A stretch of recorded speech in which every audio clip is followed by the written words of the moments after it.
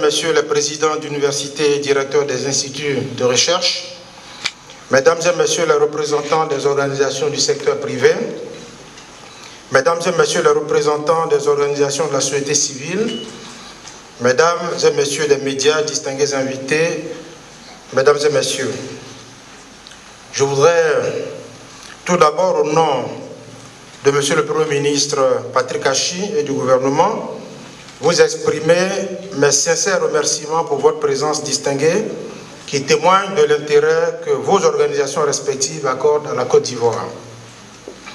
Je me félicite euh, particulièrement de la tenue de cette cérémonie de lancement du 12e rapport de la Banque mondiale sur la situation économique en Côte d'Ivoire, qui, en plus de dresser l'état de l'économie, traite d'un sujet capital pour nos économies, le développement numérique.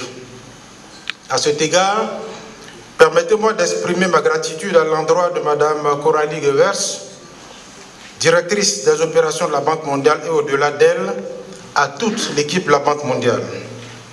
Honorables invités, Mesdames et Messieurs, nous venons de suivre avec intérêt la présentation du rapport. Il expose l'état de l'économie ivoirienne et s'interroge sur le moyen de rendre la croissance économique plus inclusive et résiliente dans un contexte marqué par des chocs externes et récurrents.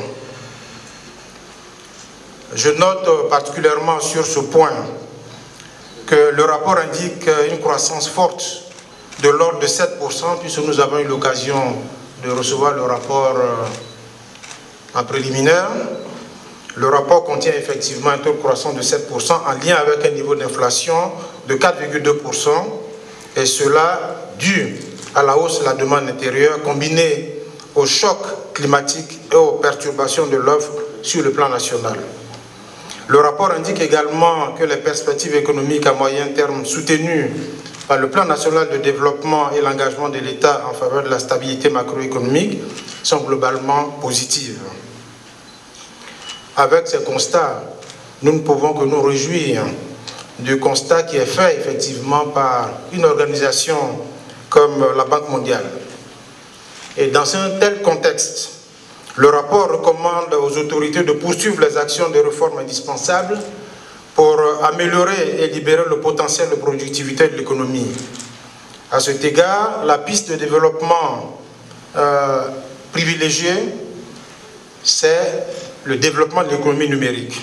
Honorables invités, mesdames et messieurs, je voudrais particulièrement saluer la qualité du rapport ainsi que la pertinence des recommandations qui sont formulées. Je souhaite euh, partager quelques commentaires et rappeler brièvement quelques priorités de développement de ce secteur, étant entendu que le ministre de la Communication et de l'économie numérique animera bientôt un panel. Sur le cadre macroéconomique, en principe, il n'y a rien à dire, puisque la Banque mondiale a fait un constat extrêmement important qui montre que notre économie est dynamique, une économie solide, une économie qui dispose de fondamentaux qui euh, la préparent à avoir de bonnes perspectives dans le futur. Donc je n'ai pas de commentaires particuliers à, à faire, sauf à dire simplement que les légères différences constatées ici et là dans le rapport sont normales et c'est lié aux hypothèses qu'on fait entre économistes, on sait très bien qu'avec des hypothèses, on peut faire beaucoup de choses. En tout cas, je me réjouis de l'appréciation de la Banque mondiale sur euh, le contexte économique de la Côte d'Ivoire. Sur la pauvreté, euh, la présentation n'a pas insisté là-dessus, mais dans le rapport, nous avons noté qu'il y a effectivement des efforts à faire sur euh, la pauvreté. Je voudrais à cet égard indiquer aux auteurs du rapport que nous venons de loin en réalité. Entre 2012 et 2018, 2019, nous avons réduit la pauvreté de plus de 15 points, passant de 55% à 39%, ce qui est extrêmement important. Mais au-delà de ça, vous savez que la vision Côte d'Ivoire 2030 du président de la République piloté par M. le Premier ministre, vise à réduire le taux de pauvreté à moins de 20% en 2030. C'est-à-dire que toutes les dispositions sont prises pour aller dans cette direction.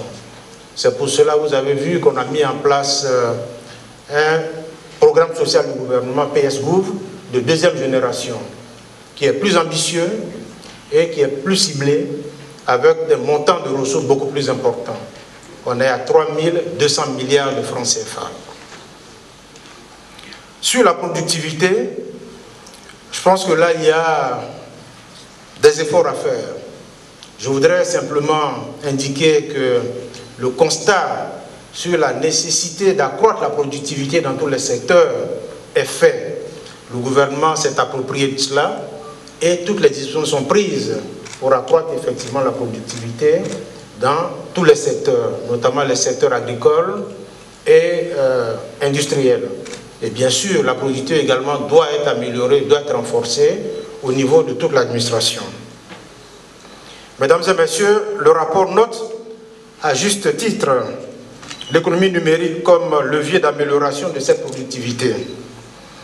Il est admis euh, désormais de par le monde que la transformation digitale contribuera à accélérer la dynamique économique mondiale au cours de la prochaine décennie et même au-delà. Cette transformation inclut notamment les innovations en matière de connectivité 5G, l'intelligence euh, artificielle, les crypto-monnaies, le blockchain, pour ne citer que celle-là. À titre illustratif, il ressort d'une étude récente euh, de McKinsey qu'un accès plus rapide à la 5G dans les secteurs de transport, de la santé, de l'industrie et du commerce de détail permettrait d'accroître le PIB mondial de 1200 à 2000 milliards de dollars d'ici 2030. Vous voyez le potentiel qu'il y a en termes de ressources.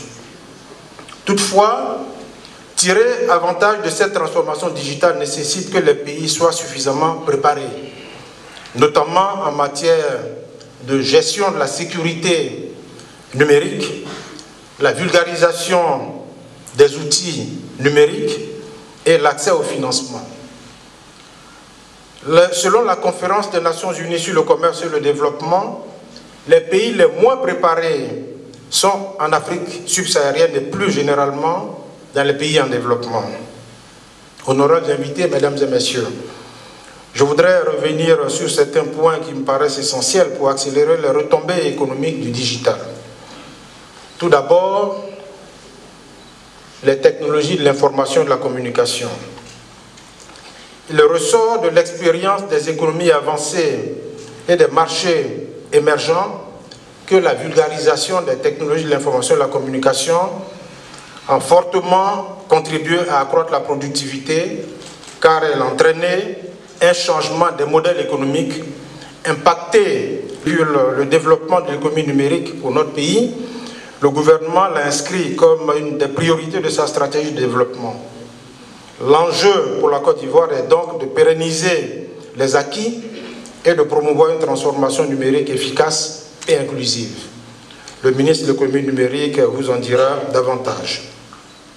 Le second point qui me paraît crucial est l'accès au financement.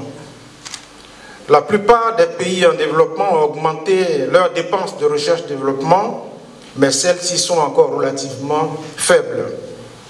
L'Union africaine, par exemple, a fixé un objectif de 1% du PIB mais en moyenne, les pays d'Afrique subsaharienne consacrent seulement 0,38%.